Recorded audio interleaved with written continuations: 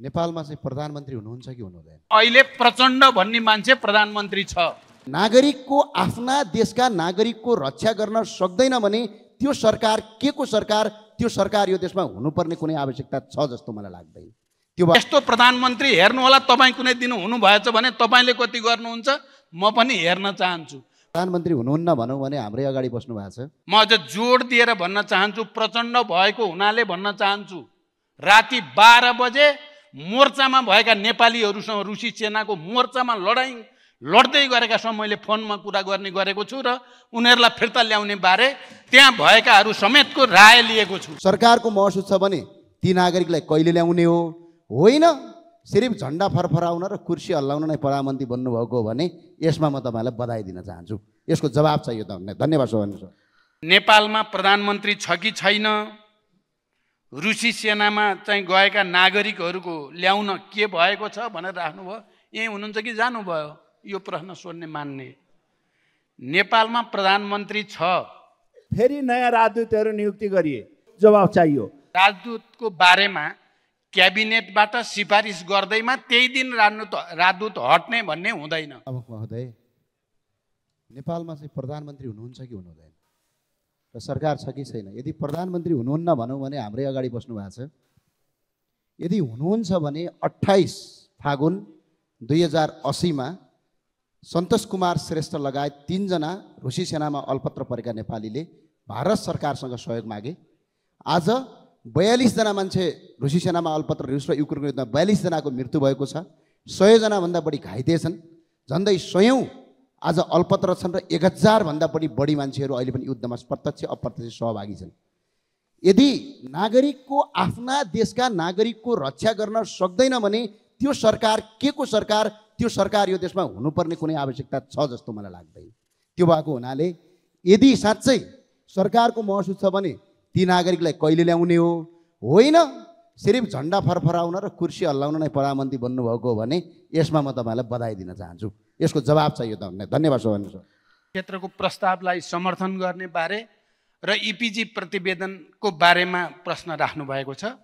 मैले यी विषयहरू आफैमा धेरै महत्त्वपूर्ण छन् उन्नाइस सय सत्तालिसको कुरा पनि। भनेर यसमा राष्ट्रिय सहमति बनाएर अगाडि बढ्न जरुरी छ।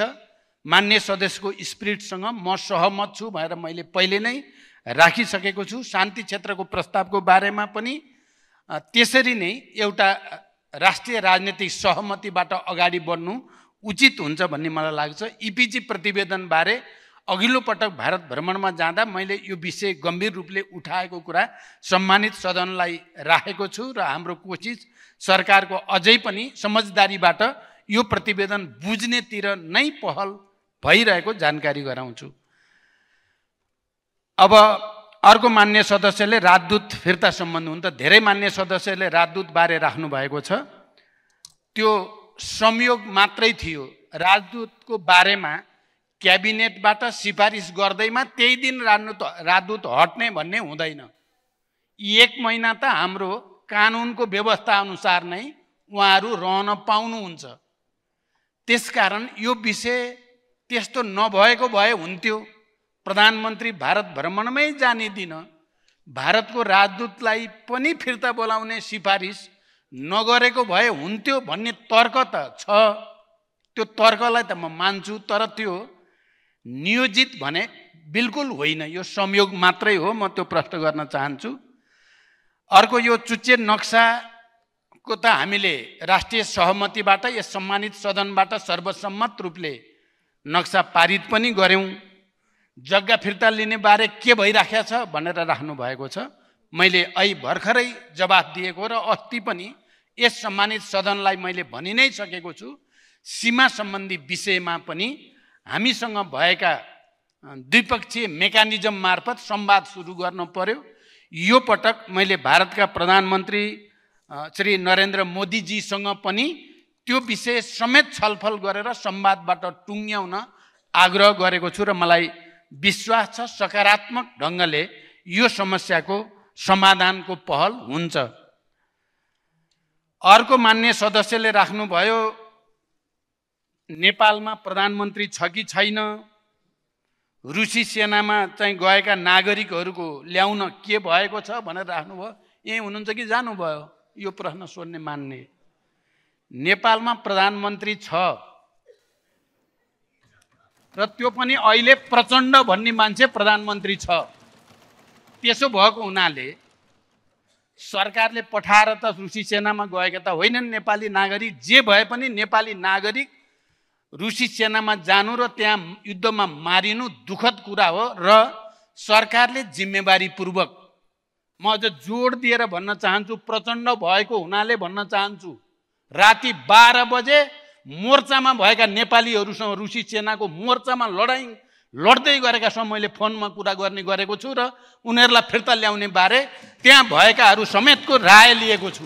त्यस्तो प्रधानमन्त्री हेर्नु होला तपाईँ कुनै दिन हुनुभएछ भने तपाईँले कति गर्नुहुन्छ म पनि हेर्न चाहन्छु। फेरि पनि यो प्रश्न राखेकोमा धन्यवाद। कारण अब अर्को राजदूत लगायत सबै नियुक्तिहरू सहमति र समावेशी बनाउने हाम्रो मान्यता छ। कतिपय बेला त्यो मान्यता अनुसार हुन नसकेको कुरा म स्वीकार गर्न चाहन्छु र आउने दिनमा यसलाई गम्भीरतापूर्वक लिइनेछ। अर्को यो चौध महिलाहरूको बारेमा एकजना मान्य सदस्यहरूले उठाउनु भएको छ। यो विषयमा सरकार गम्भीर छ र गम्भीर कुटनैतिक महल पहल सुरु गरिएको जानकारी पनि गर्न चाहन्छु। र रुसी सेनाको फेरि पनि म अर्को मान्य सदस्यहरूले पनि राख्नु भएको छ। उहाँहरूलाई फिर्ता ल्याउनको निम्ति रुस स्थित नेपाली दूतावासबाट नेपाल स्थित रुसी दूतावाससँग र अनि सम्बन्धित अरूहरूसँग पनि लगातार छलफल भइराखेको छ। युक्रेनमा समातिएकाहरूलाई छुटाउने बारेमा पनि सरकारले गम्भीरतापूर्वक पहल गरिरहेको म जानकारी गराउन चाहन्छु। राजदूत नियुक्तिका सम्बन्धमा धेरै मान्य सदस्यहरूले उठाउनु भएको छ। एउटा कुरा के हो भने आज मिलाउँदा मिलाउँदै त्यही दिन आफूलाई हटाएको खबर राजदूतले थाहा पाउनुभयो। कुटनीतिक रूपमा असफल देखिए जस्तो लाग्यो। फेरि नयाँ राजदूतहरू नियुक्ति गरिए। केहीले म त यसमा इन्ट्रेस्टै थिइनँ है भन्दै बिचैबाट भागेको देखियो।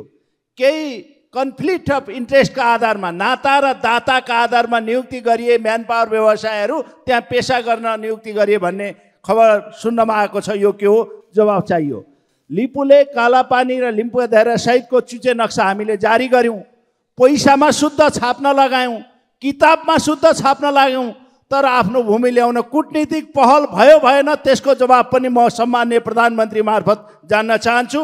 साथै दुईवटा ओखलढुङ्गा र धादिङका दुईवटा पहलमान भुवन श्रेष्ठ पहलमान मगर ब्लड मनी तिरिसकेपछि पनि जेलमै क्षेत्रको प्रस्तावलाई समर्थन गर्ने बारे र इपिजी प्रतिवेदनको बारेमा प्रश्न राख्नु भएको छ।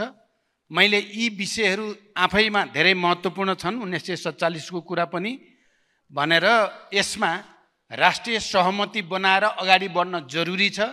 मान्य सदस्यको स्पिरिटसँग म सहमत छु भनेर मैले पहिले नै राखिसकेको छु। शान्ति क्षेत्रको प्रस्तावको बारेमा पनि त्यसरी नै एउटा राष्ट्रिय राजनीतिक सहमतिबाट अगाडि बढ्नु उचित हुन्छ भन्ने मलाई लाग्छ। इपिजी प्रतिवेदनबारे अघिल्लो पटक भारत भ्रमणमा जाँदा मैले यो विषय गम्भीर रूपले उठाएको कुरा सम्मानित सदनलाई राखेको छु र हाम्रो कोसिस सरकारको अझै पनि समझदारीबाट यो प्रतिवेदन बुझ्नेतिर नै पहल भइरहेको जानकारी गराउँछु। अब अर्को मान्य सदस्यले राजदूत फिर्ता सम्बन्ध हुन त धेरै मान्य सदस्यले राजदूतबारे राख्नु भएको छ। त्यो संयोग मात्रै थियो। राजदूतको बारेमा क्याबिनेटबाट सिफारिस गर्दैमा त्यही दिन राजदूत राजदूत हट्ने भन्ने हुँदैन। एक महिना त हाम्रो कानुनको व्यवस्था अनुसार नै उहाँहरू रहन पाउनुहुन्छ। त्यसकारण यो विषय त्यस्तो नभएको भए हुन्थ्यो। प्रधानमन्त्री भारत भ्रमणमै जाने दिन भारतको राजदूतलाई पनि फिर्ता बोलाउने सिफारिस नगरेको भए हुन्थ्यो भन्ने तर्क त छ।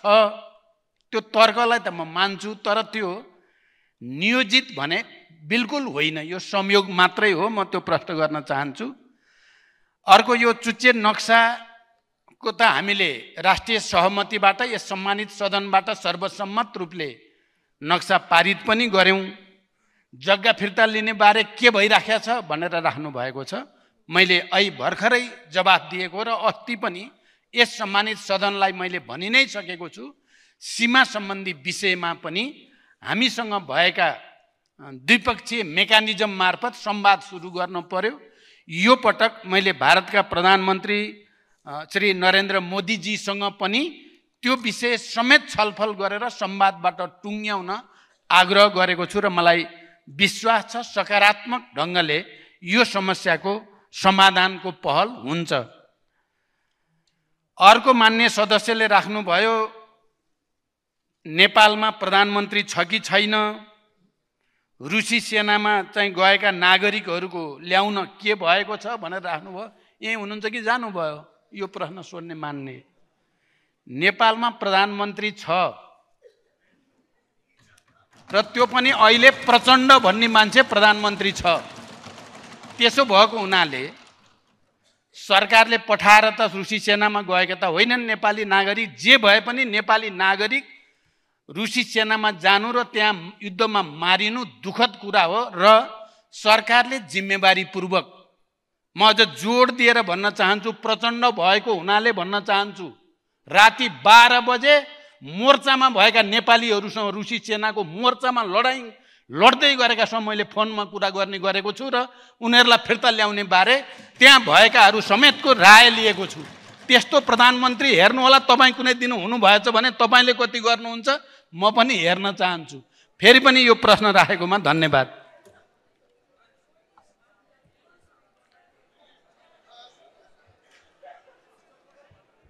त्यसकारण अब अर्को राजदूत लगायत सबै नियुक्तिहरू सहमति र समावेशी बनाउने हाम्रो मान्यता छ। कतिपय बेला त्यो मान्यता अनुसार हुन नसकेको कुरा म स्वीकार गर्न चाहन्छु र आउने दिनमा यसलाई गम्भीरतापूर्वक लिइनेछ। अर्को यो चौध महिलाहरूको बारेमा एकजना मान्य सदस्यहरूले उठाउनु भएको छ। यो विषयमा सरकार गम्भीर छ र गम्भीर कुटनैतिक महल पहल सुरु गरिएको जानकारी पनि गर्न चाहन्छु र रुसी सेनाको फेरि पनि म अर्को मान्य सदस्यहरूले पनि राख्नु भएको छ। उहाँहरूलाई फिर्ता ल्याउनको निम्ति रुस स्थित नेपाली दूतावासबाट नेपाल स्थित रुसी दूतावाससँग र अनि सम्बन्धित अरूहरूसँग पनि लगातार छलफल भइराखेको छ। युक्रेनमा समातिएकाहरूलाई छुटाउने बारेमा पनि सरकारले गम्भीरतापूर्वक पहल गरिरहेको म जानकारी गराउन चाहन्छु। राजदूत नियुक्तिका सम्बन्धमा धेरै मान्य सदस्यहरूले उठाउनु भएको छ। एउटा कुरा के हो भने